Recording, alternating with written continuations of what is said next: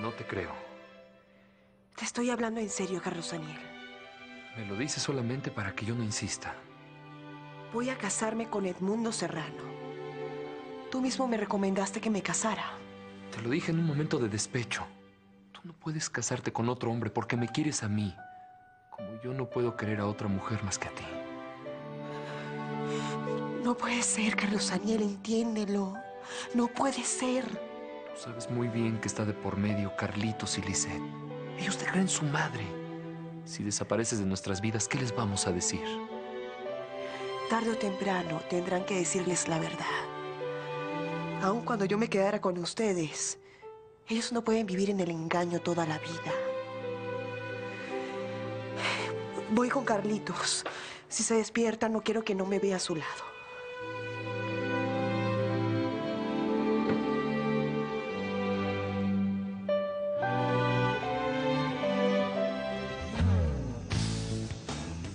Imbécil se rajó. Pero ya que estoy aquí no voy a perder la oportunidad.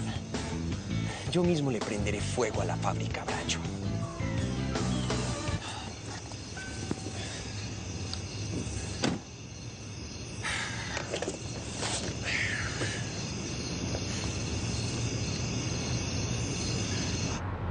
Es que así no puedo aceptarle la denuncia. Tiene que venir y firmarla. De lo contrario, ¿cómo voy a detener al delincuente? Sí, sí, sí, claro, claro. Pero ¿quién me dice que no es broma? Oiga, pero... ¿Quién era, jefe? ¿Qué pasa? Un denunciante anónimo dice que esta noche van a incendiar la fábrica Bracho. Uh, eso está grave. A lo mejor es una broma, ¿no? Por sí o por no, yo creo que debemos poner sobre aviso a quienes estén en la fábrica.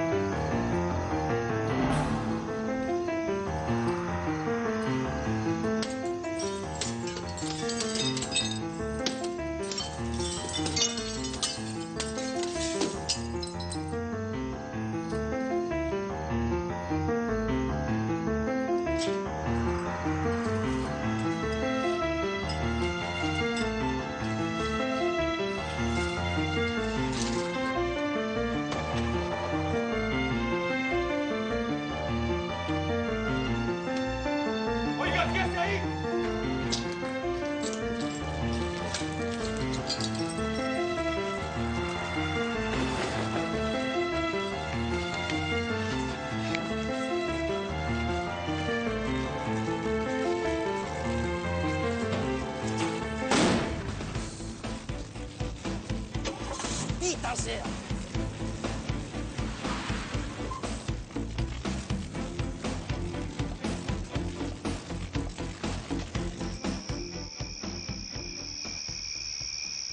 Le llaman de la fábrica, señor Rodrigo. Gracias. Bueno, Señor Bracho, habla Navarro de seguridad para avisarle que trataron de prenderle fuego a la fábrica. ¿cómo? Sí, rompieron una de las ventanas de los cuartos de combustible. Echaron gasolina hacia adentro, pero nos avisaron por teléfono de la policía. Parece ser que una denunciante anónimo les llamó. Pudimos evitarlo. Sorprendimos al tipo y no le dimos tiempo. ¿Hay daños? Solamente unas ventanas, señor. Pero ya puse un elemento de guardia. No sea que a ese tipo se le ocurra regresar. ¿Pudieron verlo? Yo más o menos, señor. Y seguramente me equivoco, pero el tipo se parecía mucho al señor Willy.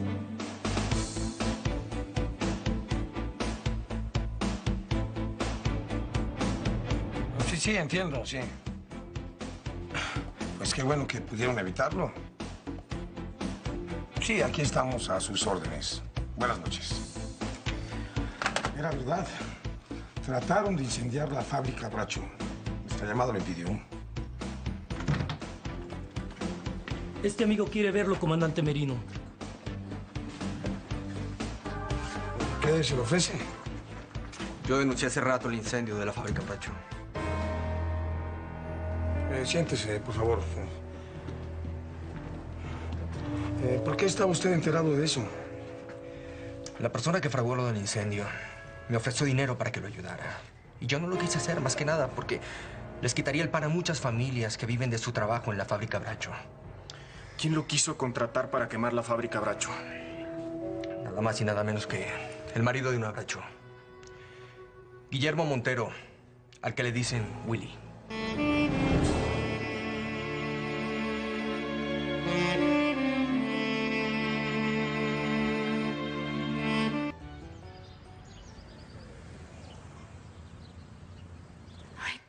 Se angustie.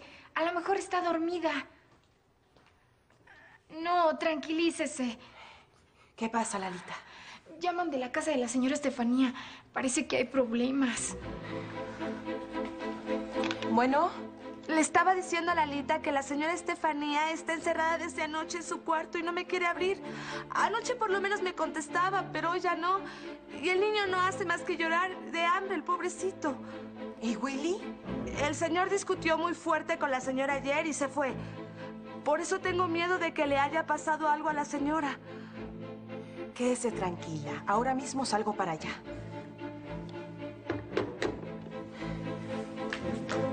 Acompáñame, Patricia. ¿A dónde? A la casa de Estefanía.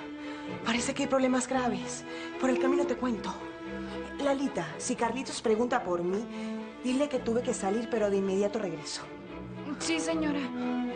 ¿Supiste lo de la fábrica anoche? Sí, no se habla de otra cosa hoy aquí en la casa.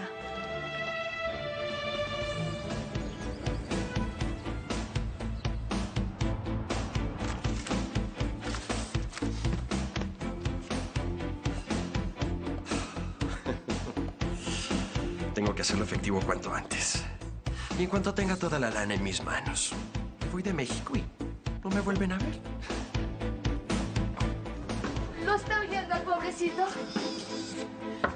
Estefanía. Estefanía. Abre, Estefanía, soy Patricia. ¿Estás segura que la señora está adentro? Claro que sí. Todavía anoche me contestó. Ay, señora, ¿no le habrá dado un ataque? ¿No estará muerta?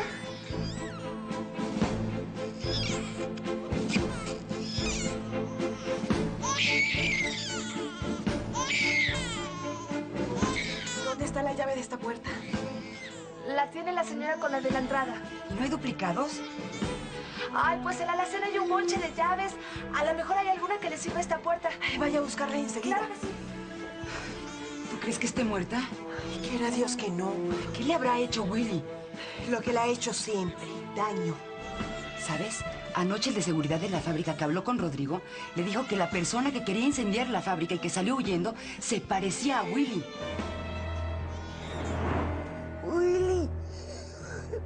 piensa quemar la fábrica. Nacho. Dios mío. ¿Qué pasa, Paulina? Paola me dijo antes de morir que Willy pensaba quemar la fábrica. Debe haber sido él. Aquí están las llaves. Ay, ojalá sirva alguna.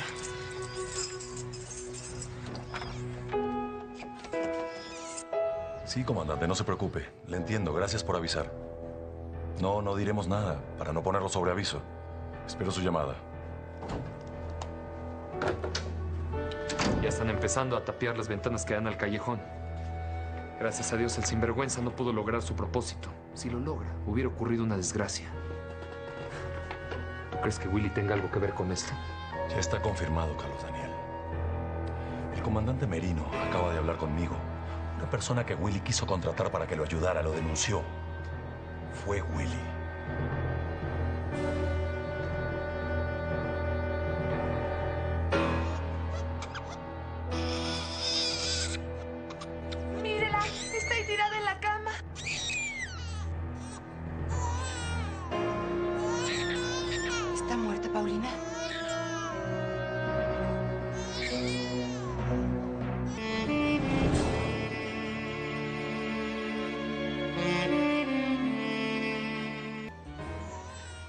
No, no está muerta, Patricia. Bendito sea Dios. Me late que se metió más de una pastilla de esas que ella toma para calmarse los nervios. Vaya a darle de comer al niño. Nosotros nos ocupamos de Estefanía. Chiquito, ahora sí te voy a dar de comer. Estefanía. Estefanía. Estefanía, contesta. ¿Qué hacemos, Paulina? ¿Mi hijo? ¿Dónde está mi hijo? Eso lo llevó a Castorila para darle de comer. ¿Por qué no contestabas? ¿Contestar? ¿Quién? Willy. Willy se lo quiso llevar. Él me quiso robar a mi hijo.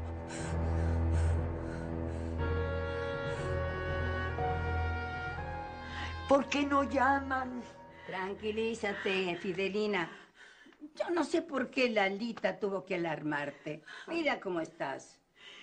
Es que, ¿qué le puede haber pasado a mi hija?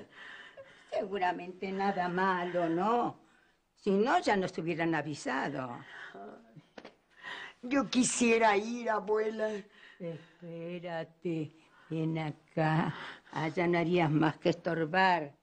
Con lo desesperada que estás. Espera que llamen. Ya, ya verás que no es nada grave.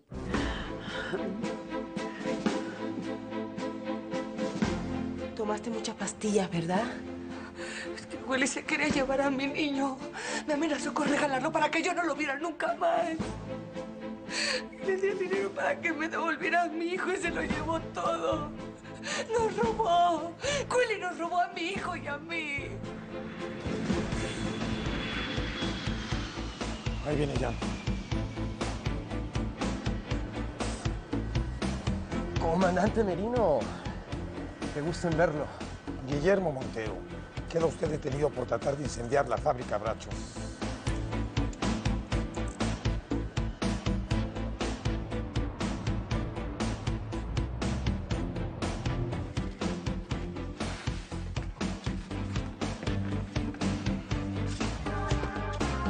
Hay que aclarar de dónde sacó este dinero.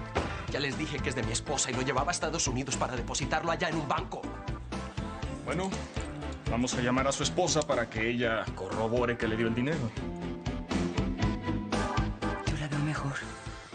Por lo menos está más tranquila. Señora, están hablando de la policía por algo del señor Willy.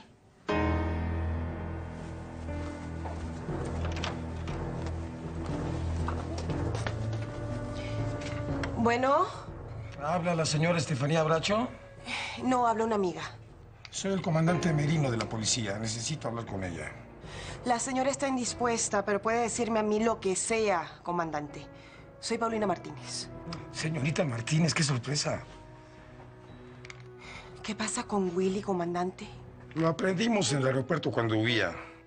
Está acusado de tentativa de incendio contra la fábrica Bracho.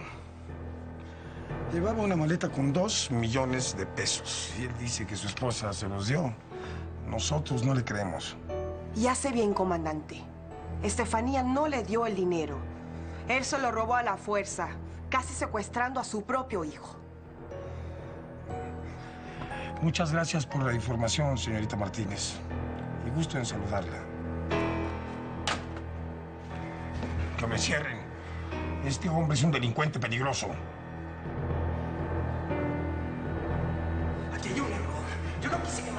Macho. Yo no sé de dónde sacaron eso. Yo no le robé el dinero a mi mujer. Ella me lo dio.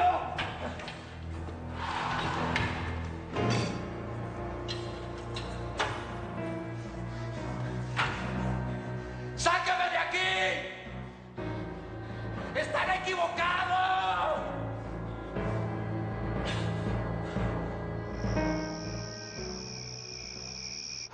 Es un canalla. Por su culpa me pude haber muerto y, y mi hijo habría quedado huérfano y sin dinero porque él se lo robó. Dios no lo permitió. No tienes que afligirte más.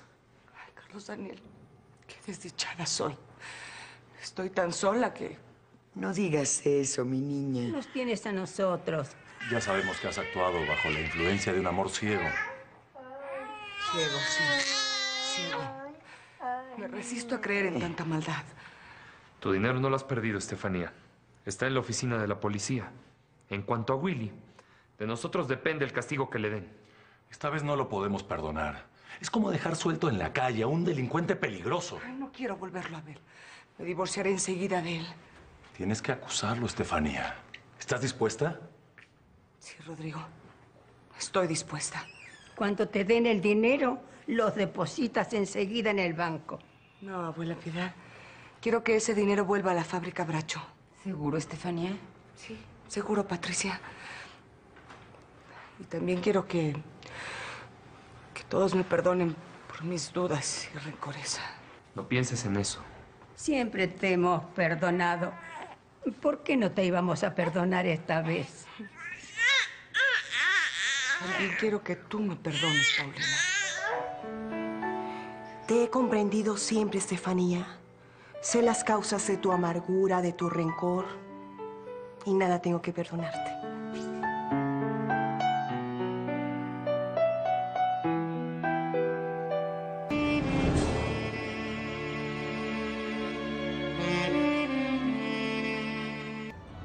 Me hubiera gustado ver la cara de Edmundo Serrano cuando le dijiste que sí te casabas con él.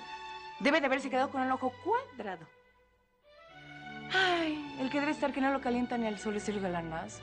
Carlos Daniel Bracho, imagínate, hoy te casas por el civil con el licenciado Serrano. Tiene que ser así, Celia. Es la única manera que Carlos Daniel se decepcione de mí y me olvide. Pero te casas con Edmundo Serrano sin quererlo, manita. Aprenderé a quererlo, Celia.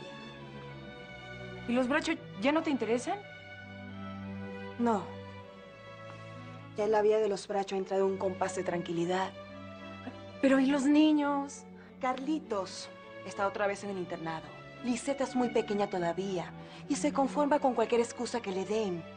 Pero al no verte más... Ya Carlos Daniel sabe que es hora de decirles la verdad. Que no pueden vivir siempre en la mentira. Deben decirles que Paola, la que creía en su madre, murió. Y yo no soy más que la hermana gemela de Paola, que un día entró en la casa Bracho como una usurpadora. Los niños van a sufrir un chorro. No me atormentes más, por favor, Celia. Tiene que ser así. Yo no puedo amar a Carlos Daniel porque es el hombre que mi hermana amó. Bueno, ya no quiero llegar tarde al registro civil. No quiero hacer esperar el mundo.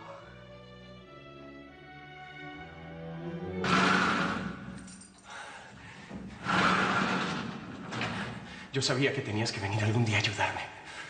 Yo lo sabía. Estefanía, mi amor, consígueme un abogado. Sácame de aquí como sea. Yo te juro que voy a cambiar. Empezaremos una nueva vida los tres. Tú, nuestro hijo y yo. Lo vas a hacer, ¿verdad? Por lo de la fábrica me puedes sacar bajo fianza. No la llegué a incendiar. Y en cuanto al dinero, tú dices que me lo diste y no hay problema. ¿Qué pasa? ¿Por qué no hablas? ¿No viniste a ayudarme? No, Willy. No vengo a ayudarte. Al contrario. Vengo a verte vencido, destruido, para poder vengarme un poco de todas las que me hiciste. Vengo a decirte que por mí y por mi hijo puedes pudrirte en la cárcel.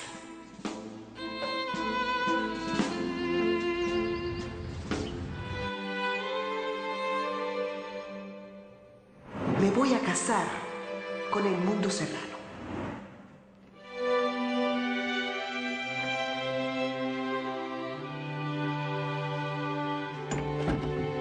¿Vas a comer con nosotros?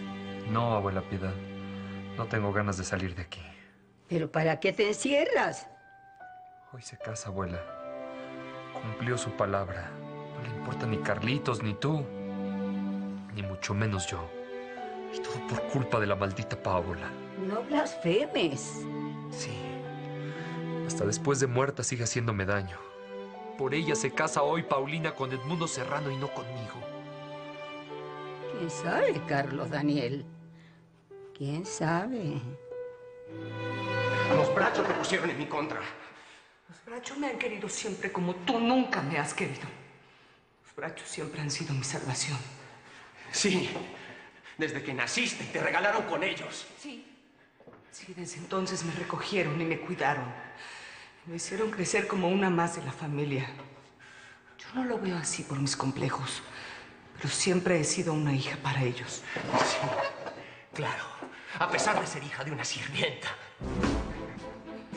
Eso no es verdad. Sí, eres la hija de una sirvienta.